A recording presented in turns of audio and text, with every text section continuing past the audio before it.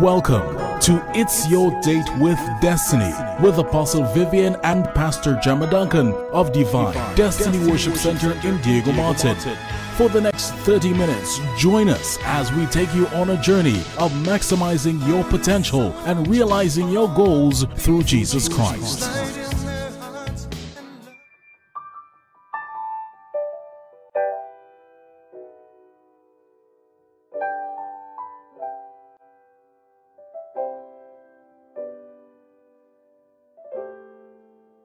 Why is it when you need a miracle, it doesn't happen, but when you least expect it, it happens? You are married. You have challenges in your relationship, but your spouse is unwilling to accede to any counseling. Is divorce an option? How does a parent handle a promiscuous child? What are considered the do's and don'ts of a born again couple who is not yet married? There are always more questions than answers. So here is Apostle Jemma. Grace and peace to you. In the event that you're a first time viewer, my name is Jemma Duncan, uh, married to Apostle Vivian Duncan, and uh, together we pastor Divine Destiny Worship Center. Our headquarters is located in Diego Martin on the Diego Martin Main Road, opposite Southern Drive in Trinidad. We have branches in Sangre Grande, in uh, Fyzabad, in Chaguanas. We have a branch in Rio Claro, one in Tobago, and a branch in Antigua in the event that you have a friend or a family member there. Due to COVID restrictions, we've gone totally online again. So our Sunday morning service is 9 a.m. And uh, our weekly services, Thursdays and Fridays, 7 p.m. You can find us at ddwc.tv or on Facebook. Remember that our offices are still open from 10 a.m. to 5 p.m. on weekdays, and the business center is also open from 9 a.m. to 5 p.m. Monday to Friday.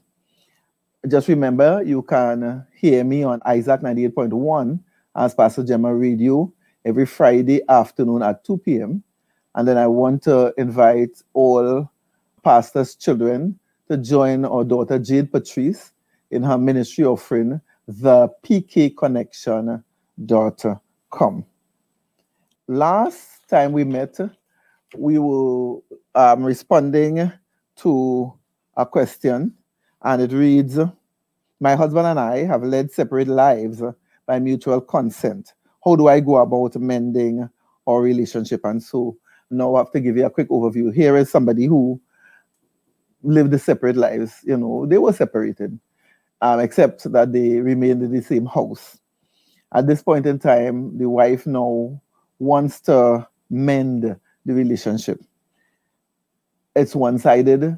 There has been no discussion with the husband concerning mending the relationship. And so I'm dealing with the wife from that point of view. Um, firstly, I encourage her to get a counselor, and I would prefer somebody with a Bible background in addition to their professional qualifications. And I feel that that person will bring balance to the process because um, we want to go according to scripture. Um, since reconciliation is her idea, then for the moment she will have to do the counseling by herself until we could get her husband to come on board. It's very important that she be truthful and honest with the counselor because that's the only way that the process will work. And uh, it's going to be an uphill climb, a bit discouraging, but I encouraged her to stay with the process.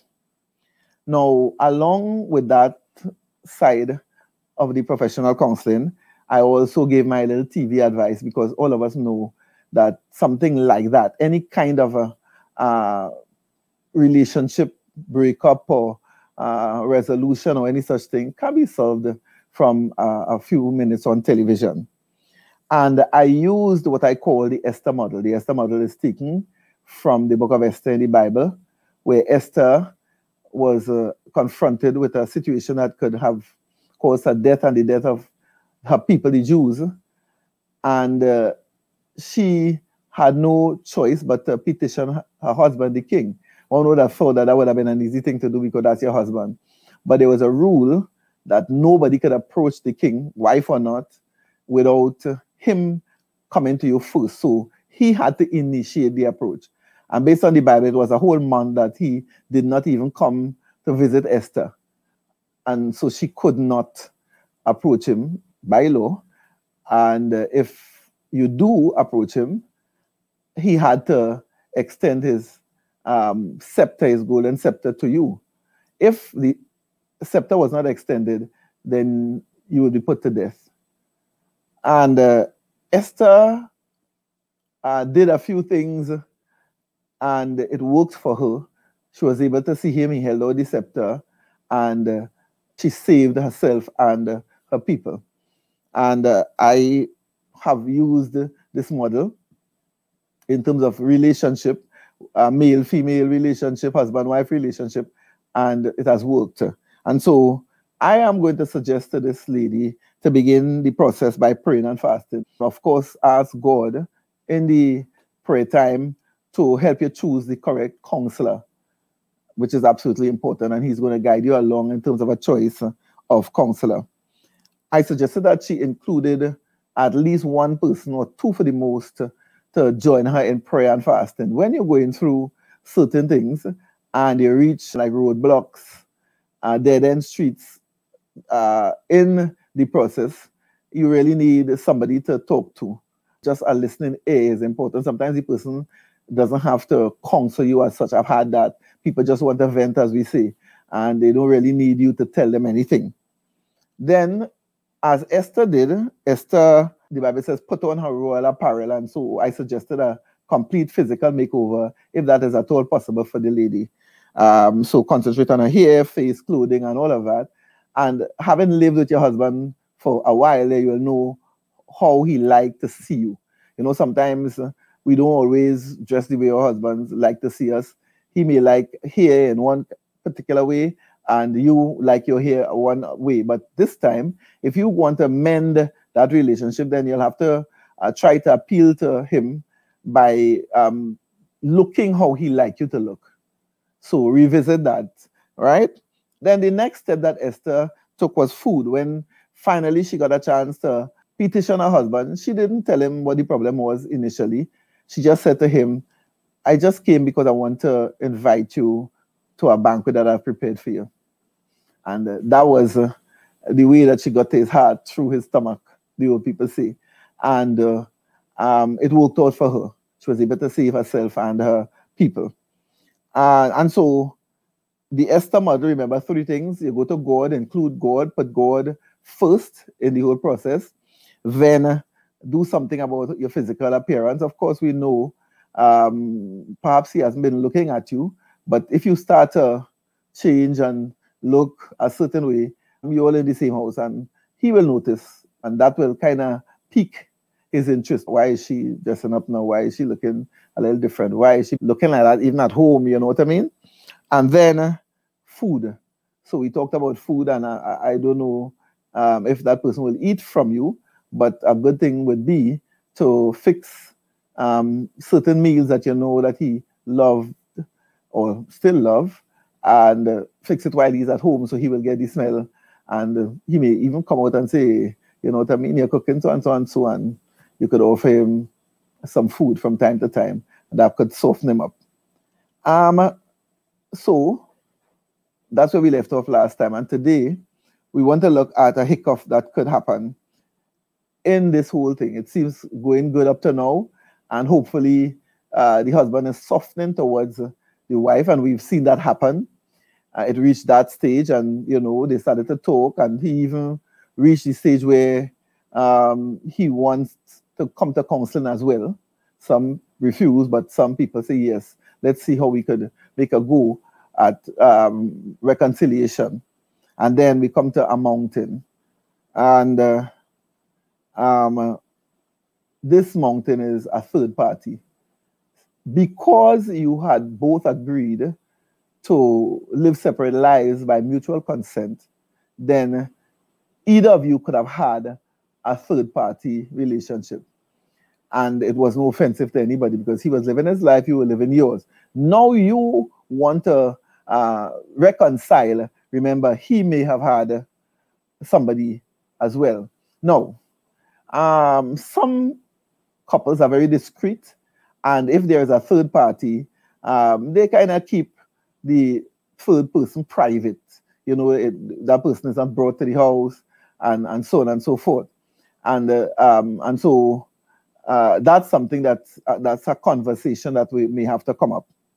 In the event that there is a third party, and there often is, um, I am going to tell you some of the things that my mother taught me. She's now deceased. And looking back, I would consider her a sage. And uh, she always said to me, in the event that there's a third party relationship, you have to leave it up to God and your husband to fix. In other words, you don't really want to get involved with the third party. So here are some don'ts. We want to start up with some don'ts. Do not approach the other woman.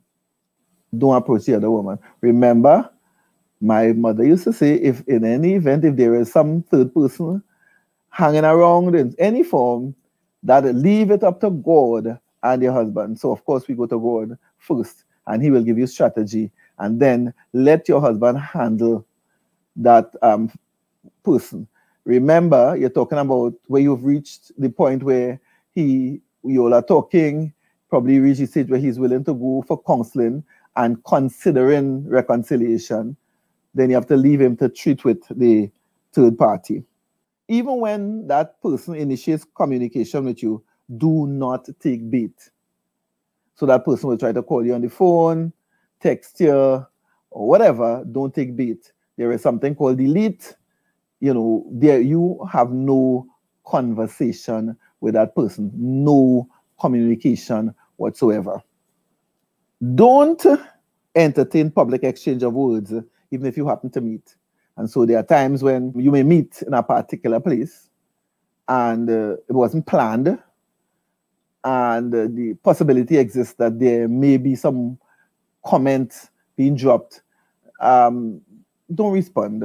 You need to just move away from that situation, you know, just get away from that, that situation if possible. If it's in um, like a, let's say, a party or some event, I would kind of quickly go to the bathroom or something like just disappear very readily and then decide if you need to leave the event or what you need to do. But please do not um, uh, entertain any kind of public exchange of words. Uh, this is a big no-no. No chick fights, please. Don't lower yourself to publicly have a fight with somebody that your husband would have been involved in. Remember, um, you will agree to live separate lives. And even if you did not agree to live separate lives, your husband is the one who made the decision to have a relationship with the person. And so the person you need to communicate with at all times is your husband and not the individual. I remember um, an incident where um, this wife uh, met the person in the bank so she didn't intend to create any situation. And she met the person in the bank and for some reason um, decided to uh, approach the individual and to have some um, communication, for want of a better word. It wasn't communication. Some words were said.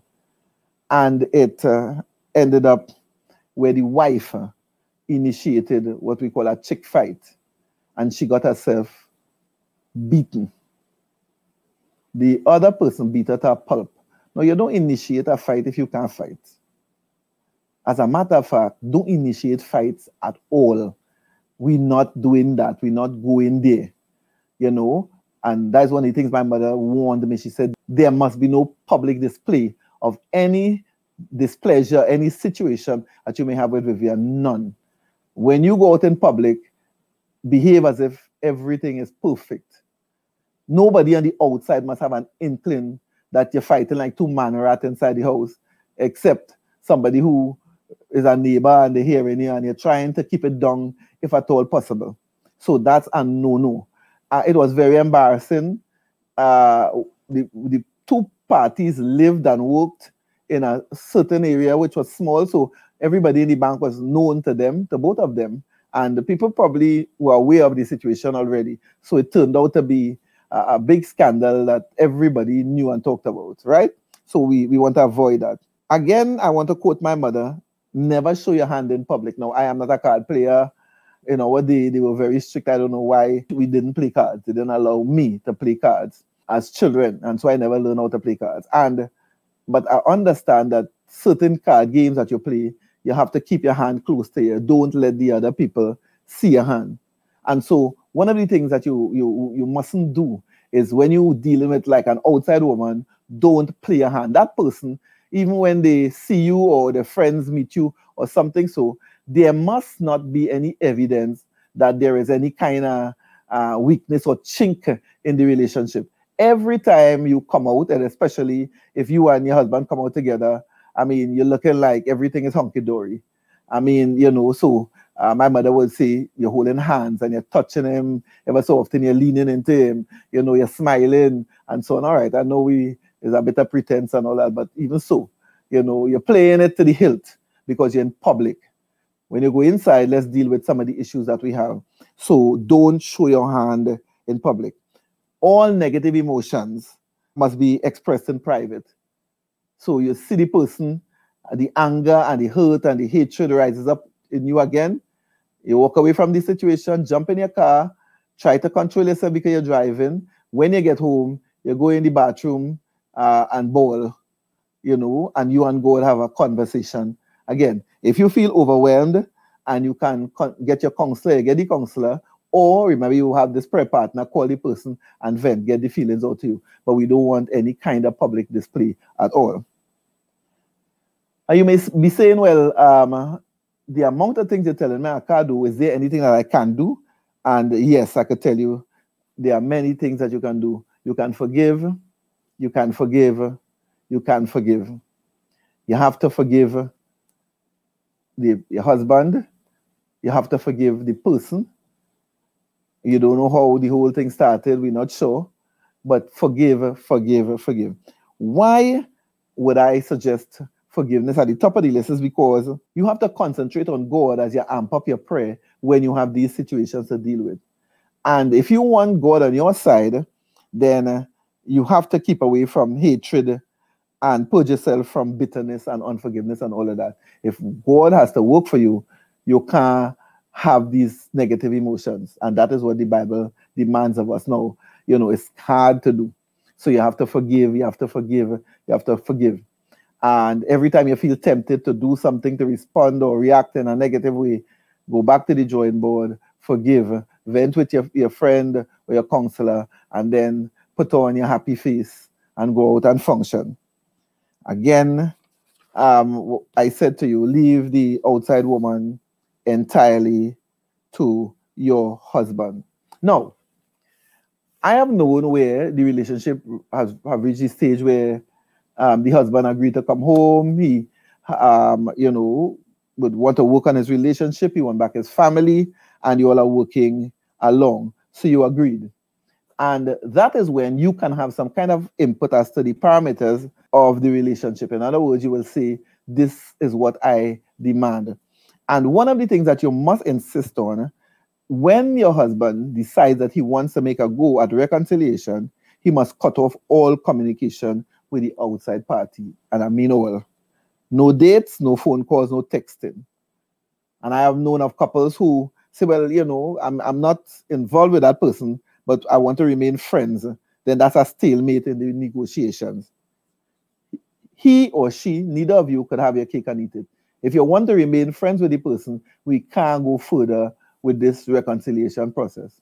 You have to cut all ties because we don't know what friends mean. And because if you allow that situation to, to take place, then you're giving way for your husband to continue being with you and still having somebody else. Or maybe it could be vice versa. I want to close with a little story. This couple separated for many years. And uh, eventually the husband left the home and went to live with this third party.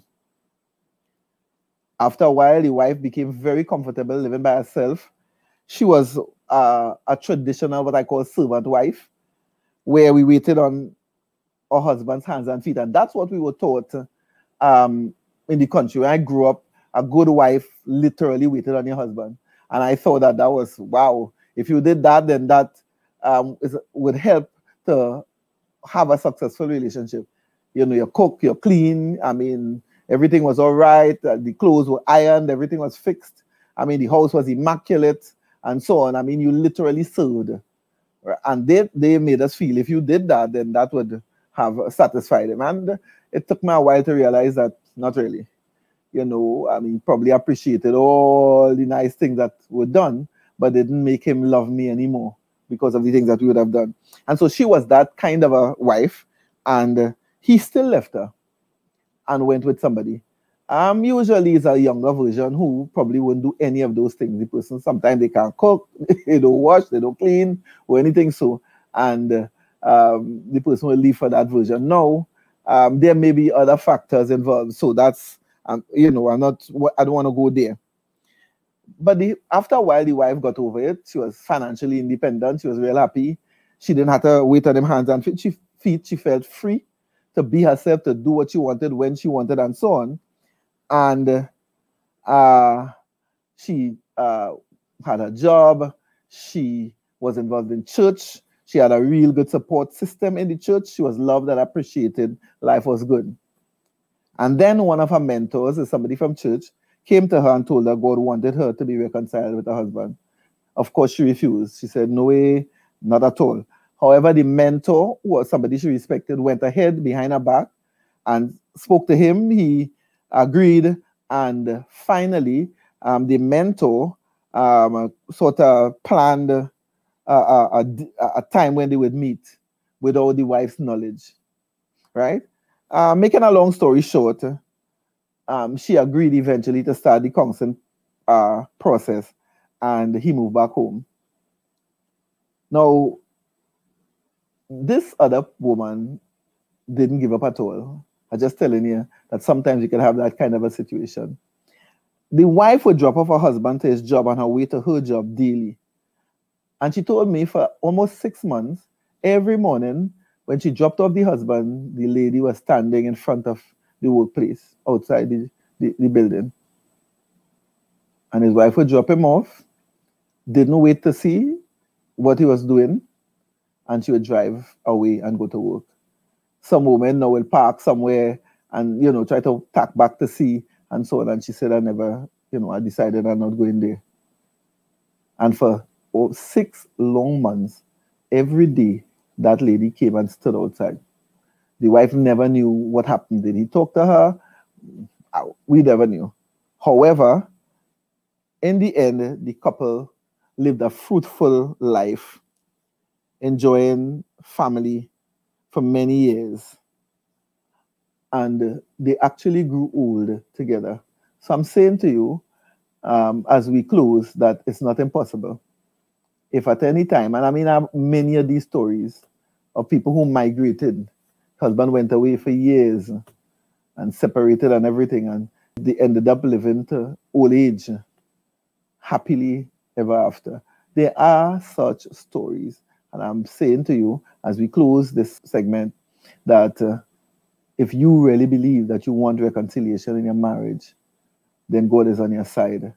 And my prayer for you is that uh, you both will live happily ever after. God bless you real good. And I hope I really helped you with this little discussion.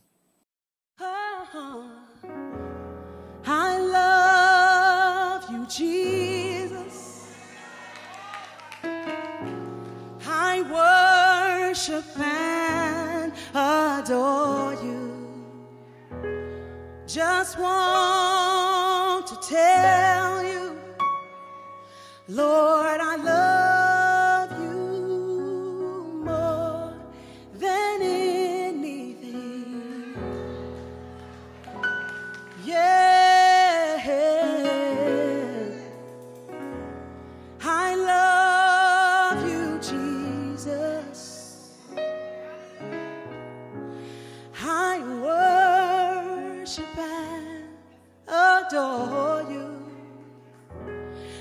just want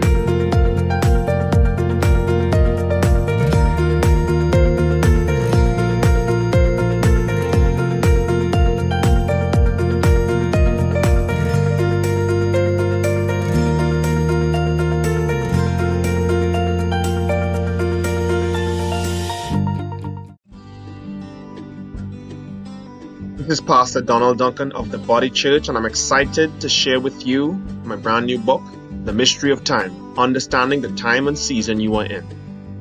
God has fit time into the continuum of eternity in such a way that it governs the human experience. In this, my seventh book, I look from seven different perspectives at the age old question What is time?